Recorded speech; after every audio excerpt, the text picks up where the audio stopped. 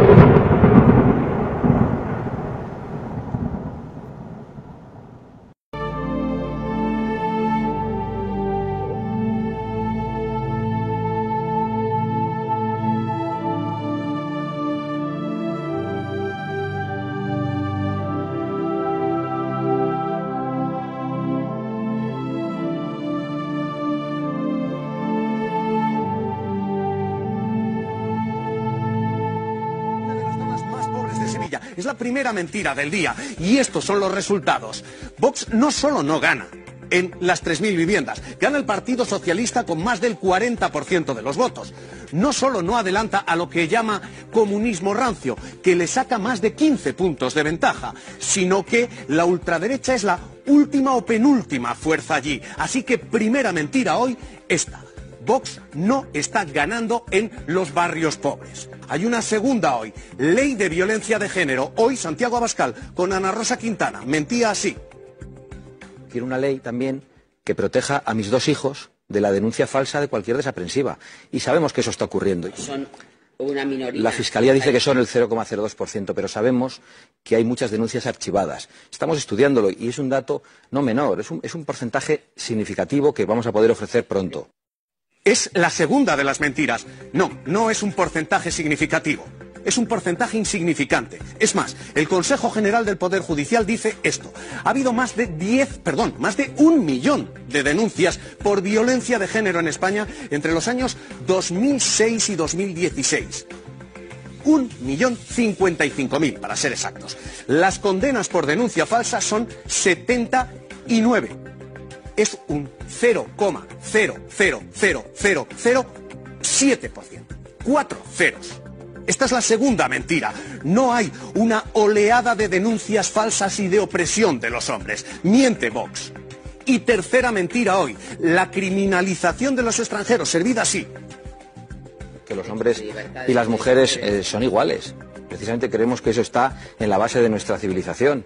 Por eso nos preocupa un tipo de inmigración que no reconoce eso. Por eso hay que analizar también, y esto a veces eh, se pasa de puntilla sobre ello, de esas 44 mujeres que han sido asesinadas, ¿quiénes son los asesinos? ¿Qué nacionalidad tienen?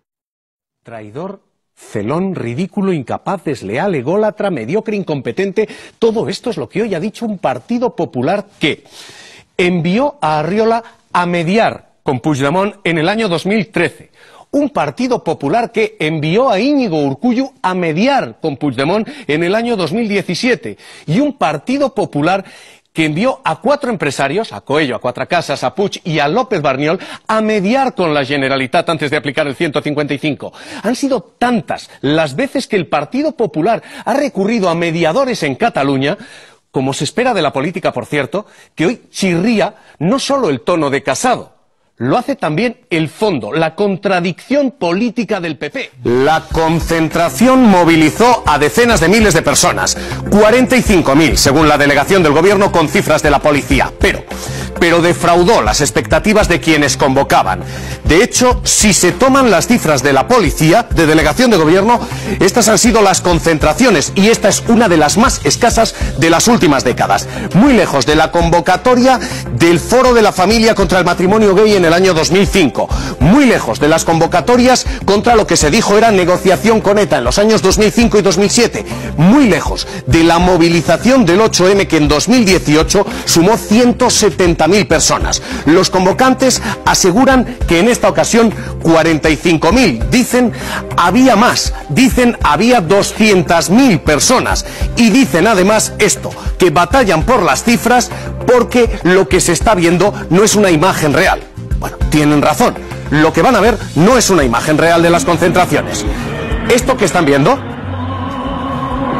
es el montaje que distribuyeron los partidos. Son imágenes falsas de esa concentración. De hecho, vean ustedes ese edificio de fondo.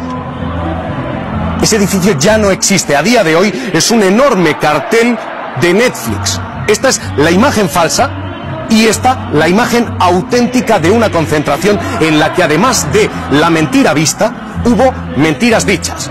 Las primeras 21 mentiras, las que decían que el gobierno aceptó 21 exigencias de Puigdemont. Falso.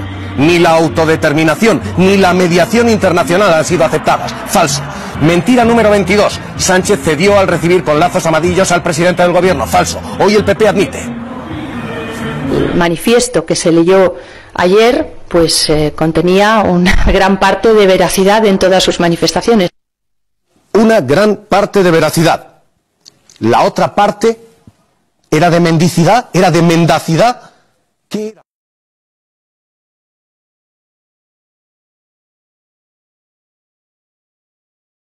Y hasta aquí, hasta aquí la información y hasta aquí Noticias 4.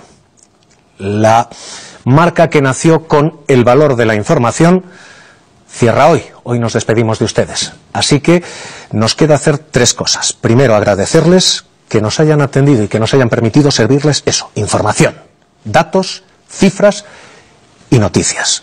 Segundo, emplazarles a que sigan buscándola busquen la información. Vienen tiempos cruciales en este país, todas las elecciones lo son. Sigan buscando información. Y tercero, decirles lo que les hemos dicho ya alguna otra vez. Adiós y gracias.